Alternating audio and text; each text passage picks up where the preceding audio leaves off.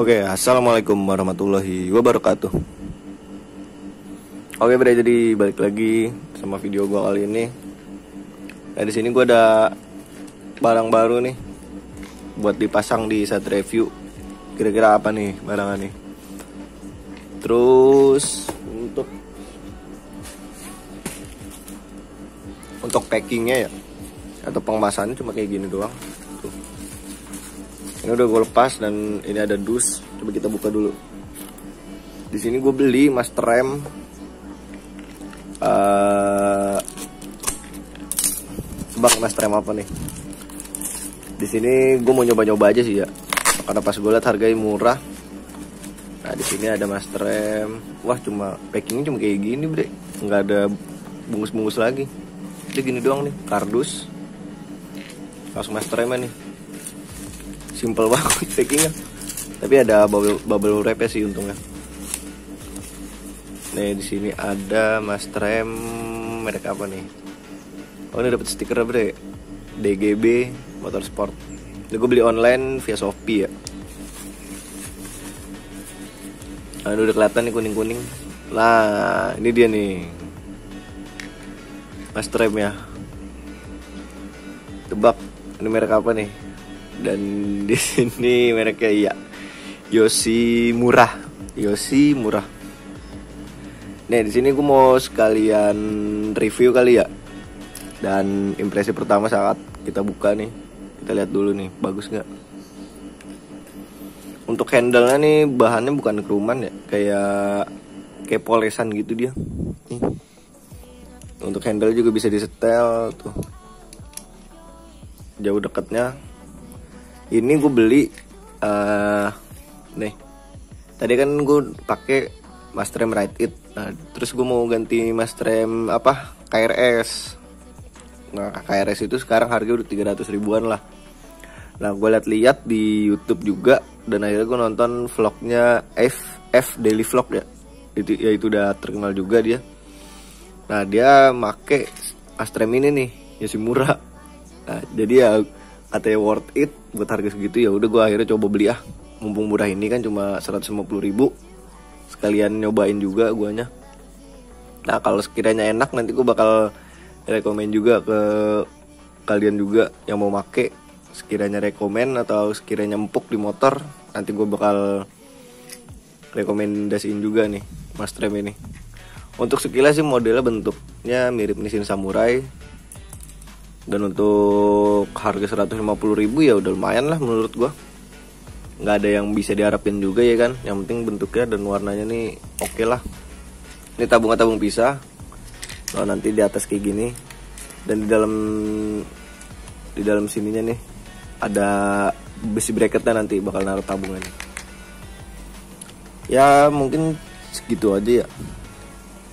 Oh ya untuk switch ini nih switch rem udah ada jadi nggak perlu bingung lagi. Aduh bengkok nih. Nah ini switch remnya udah ada semua. Ini tipenya aksial dan untuk nih sealnya. Nah untuk seal ini nggak perlu bingung. Kalau mau ganti atau rusak bisa pakai seal Supra X. Atau seal Master M Karisma lah Karisma Supra itu sama semua uh, eh, gue udah beli nih sila katanya biar lebih enak pakai sil Supra. Jadi ya walaupun master murah untuk perawatan dan untuk ininya nih sila kalau rusak tinggal kita beli sil Supra aja. Lebih bagus. Nggak usah perlu nyari mikir susah-susah lah. Nanti gue mau bahas langsung pasang di situ. Dan kita lihat hasilnya kayak gimana. Oke, ini ada di bengkel Android. Bengkel biasa ini ada teman gue nih. Anjrot. Ini nih bocah aerok dia mau pakai mas trem no. Right it nah ini pasang. Ini pasang mas. Udah bang. Pas batok. Ini sih gitu doang paling gue tabungnya pakai yang ini nih. Tabung 30 ribu tabungnya nggak dipakai kita pakai tabung yang 30 ribuan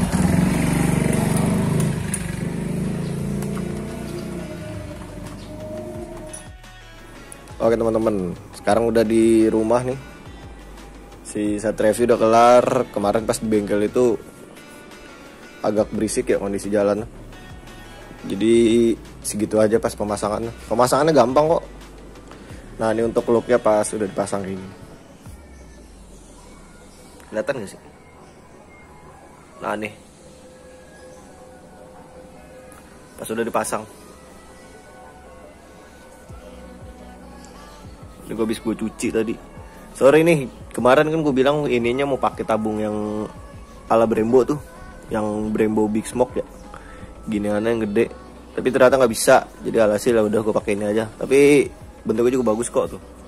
Kalau dari jauh sih sekilas ya mirip-mirip lah sama yang Oriana atau Nissin Samurai ya kan. Warnanya juga di sini emas. Nah untuk detailingnya nih kita detail ya. Di sini sininya sih paling nih kurang. Mana nih? Nih di sininya kayak agak-agak e, ngerata gitu sih. Kayak agak-agak ngerapi. Kalau ini mau ngomongin detail ya nih. Ini ada tulisannya si murah tapi untuk overall ya untuk harga 150.000 worth, worth it banget nah untuk ini seal ya. Nih ini seal master remnya bisa pakai seal Supra X 125 atau karisma sama. Nih jadi nggak usah pusing-pusing kalau ininya bocor atau rusak.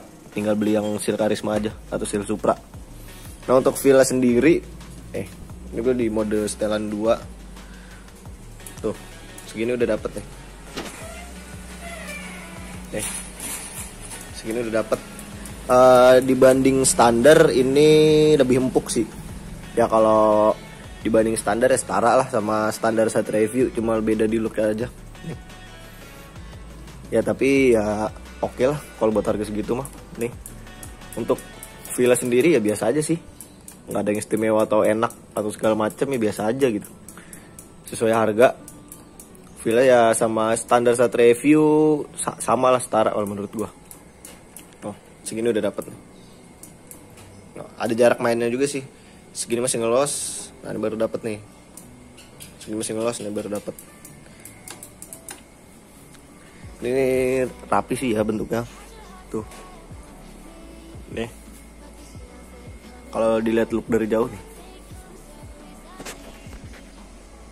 Tuh pokoknya ya gue gue bisa lah menyarat uh, rekomendasiin ini Mas Tremnya si murah harga cuma 150 ribu bentuknya udah mirip-mirip sama Nissin Samurai tapi untuk feel pengeremannya ya sama-sama standar. Setara lah sama standar saat review. Oke mungkin sekian aja video dari gua. Mungkin ntar ya sekitar dua bulan atau tiga bulan nanti kita review ulang lagi ininya kira kira-kira gimana nih untuk pemakaian tiga bulan atau seterusnya? Masih worth it apa enggak? Untuk sekarang gue masih merekomendasiin sekian aja video singkat dari gue tentang review Master M Yoshimura. 150.000 ala-ala Nissin Samurai. Kurang lebihnya mohon maaf. Wassalamualaikum warahmatullahi wabarakatuh